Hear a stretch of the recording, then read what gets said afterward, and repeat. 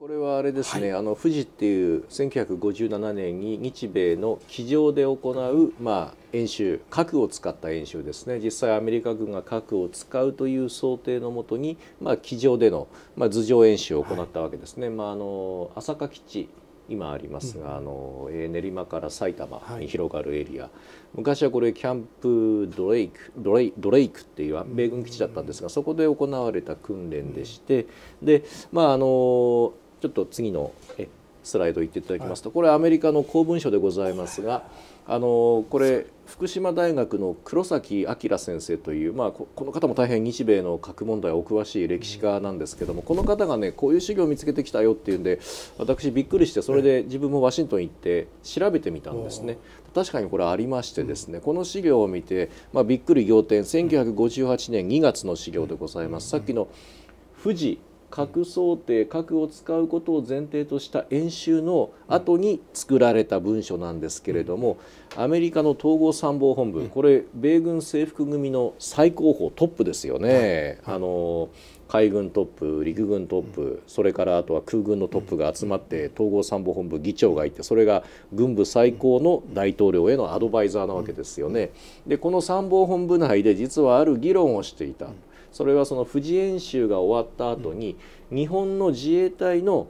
まあその演習担当者指揮官がですねいろいろ質問してきたっていうんですね。で例えばじゃあアメリカは日本に核をくれるのか、ね、例えばその NATO この頃ちょうど NATO と核を共有するというふうなそういうシェアリングが進む時期なんですけども、まあ、NATO と同じように我々にもじゃあ戦争になったら一緒にアメリカの部隊と日本の自衛隊が一緒になって核を使うのか、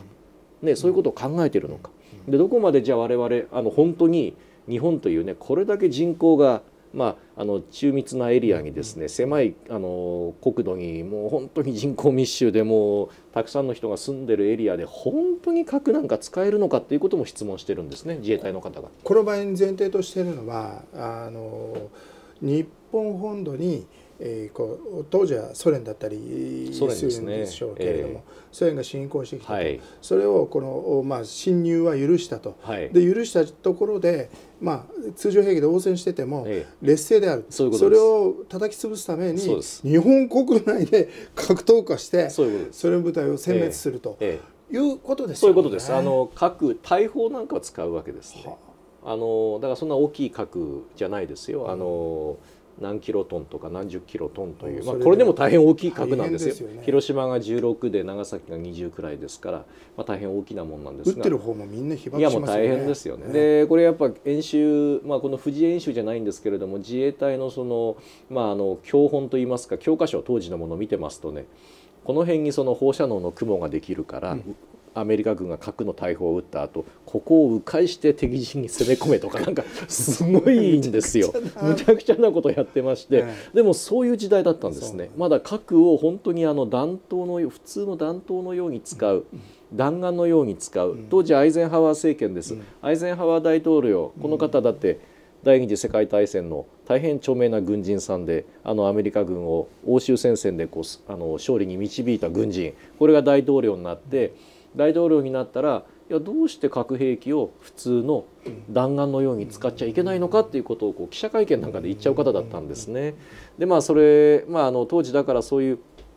核が実は特別な兵器ではなくて少し破壊力が大きいに過ぎないんじゃないかっていうふうなそういうまあ一種の幻想がまだあった時代だと思うんですね。でそういった中で日米合同演習でソ連が攻めてきて核使用を想定した演習なんかをやっていてじゃあアメリカン核は使うのはいいんだけどもまずそもそもまあ本当にこんな日本なんかで使えるのかっていうことを日本側が質問する、それからじゃあ有事になったらじゃああのアメリカだけが使うのか。それともいざとなったら貸してくれるのか。ね、そういうことを質問しだすわけですね、どこまで本気本気で核の作戦を俺たちとやってくれるのかという質問を突きつける、でそれに統合参謀本部軍のトップが「いやなんだこれは」と。すごい質問が来たなと。でこれ日本っていうのはしかも我々が原爆を投下した、まあ、ある種特別な国であるっていう意識があるんですね。だからこの質問はそんな簡単にもういい加減に答えるわけにはいかないっていうんで統合参謀本部軍のトップで議論をしだすんですね。で議論をした結果こういう結論がこの文書に書かれているわけですね。あのなんていうんですか？まず日本側がその提供してほしいという意思を持っているのか、それからあとその効果的な運用が本当に自衛隊にできるのかどうかまずそこにかかっている意思と能力の問題だということを議論した上ででただし米国は日本が適した、まあ、まあ適当なといいますかですねその日本の国情に適した核兵器で自衛隊を核武装させることを実は軍部望んでいる、うん、その方が望ましいんじゃないかっていう議論をするんですね。生きちゃってますよね。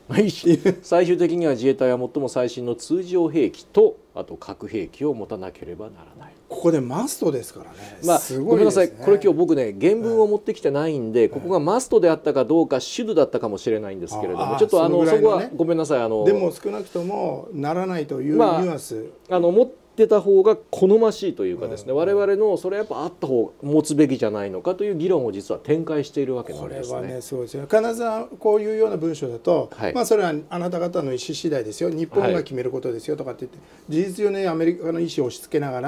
ら日本が自発的にまあ従うことを求めるようなそういうことが外交の文書でも条約でも何でもまあ何でもかんでもそんなことが書かれていることが多いと思うんです。ところがここではっきりとアメリカの意思を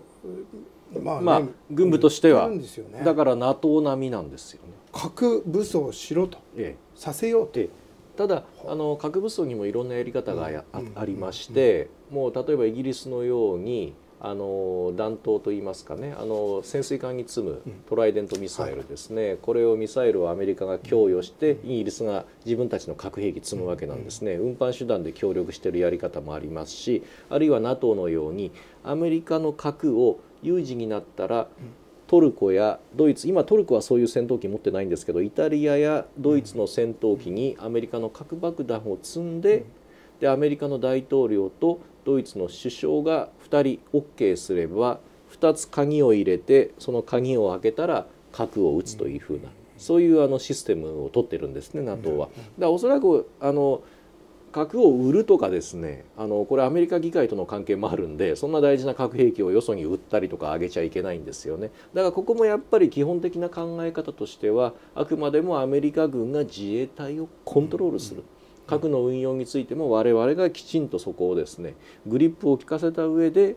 日本を核武装するのが望ましいんじゃないか。だから NATO に近いタイプを私はこれアメリカ軍は思い描いていたんじゃないかなというふうにこの文章を読みましてですねあの考えました、はい、これはすごくあの重要なところで締めて NATO のこの2つの鍵というね、はい、これはあの確かに核を供与するということはそんな高価なものとか、はい、そんな軍事的に重要なものとかそうそうやすやすと上げられるか売れるかっていうのがあるんですけどそれだけではなくてその核を売ったり渡したりした相手がですねドイツでもあれ日本であれかつてものすごいこの死闘した相手であり、ね。うん、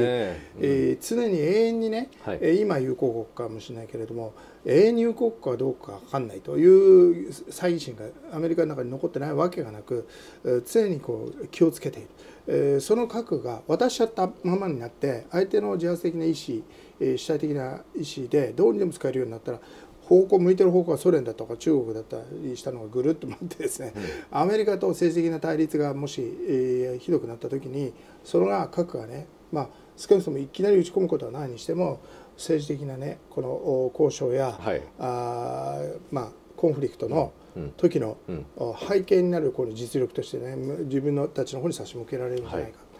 えー、アメリカに向かう核に絶対させないためには、ね。ね、鍵をね、えー、自分たちの鍵を差し入れないと使えないという。ドイツなんか典型的なんですよね、ねだドイツっていうのはいつかこれ核武装するんだろうっていう懸念がずっとあったんですよ、うん、アメリカ。なるほど。だから逆に NATO の枠で与えちゃって、うん、管理する。もうこっちの手のひらの中で、うん、まあ一緒にこうね踊らせるといったら言葉悪いですけどもこっちがもうコントロールするっていうことをやってアメリカの最終的にそうやって爆弾をまあ、ドイツの軍用機で運用できるようにするんですけども、うん、一時この頃は潜水艦、うん、共同軍の潜水艦を作ってそこにアメリカの将校ドイツの将校イタリアの将校みんな乗り込んじゃってで核を積んででそれを地中海とかですね北海で運用しようか大西洋で運用しようかっていう議論までなされていて、まあ、そうするとドイツは満足して独自核武装には走らないであろうという。大体物でねそれで独自核武装を諦めさせて。独自核こんなの何しだすか分かんない。何しだすかアメリカと対抗されたらかなわないと。いう、うん、だおそらくそういった、まあ、考えもあるんでしょうね。そこで日本に独自核武装させるよりは自分たちの核を与えてコントロールするんだというふうな。これがあのヌークリアシェアリングということですよね。はい、そうですね、はい、あのちょっとさっき前半で言うのを忘れちゃったんですけど玉上さん、ははえー、いらっしゃいますよね。ははあのファンの方もいると思うしピエールだと思ってる人もいると思いますけど玉上さんがもうたくさんの本を書いていろんなことを言ったその中にあの日本も過去っていうんですけど内容がニュークリアシェアリングのことなんですね。シェアリングっていうことだったらばそれは結局こういうね アメリカの配下にあることじゃないそういうことですね。散々僕いろんな機会にそういうことを言ってたんですよ、ええ、そしたらもなんか書いていくものとか言ってることがあの聞こえてるのかな？なんか分かりませんけれどももうちょっと過激になってアメリカと敵対的なね